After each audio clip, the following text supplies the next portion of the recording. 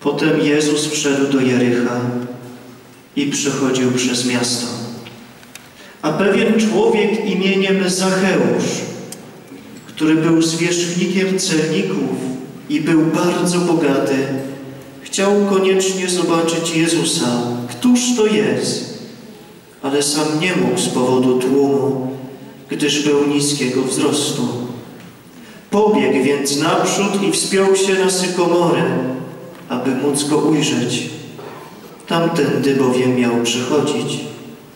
Gdy Jezus przyszedł na to miejsce, spojrzał w górę i rzekł do niego Zacheuszu, zejdź prędko, albowiem dziś muszę się zatrzymać w Twoim domu.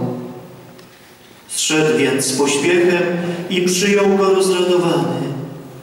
A wszyscy, widząc to, szemrali. Do grzesznika poszedł w gościnę. Lecz Zacheusz stanął i rzekł do Pana, Panie, oto połowę mego majątku daję ubogim, a jeśli kogoś w czymś skrzywdziłem, zwracam poczwórnie.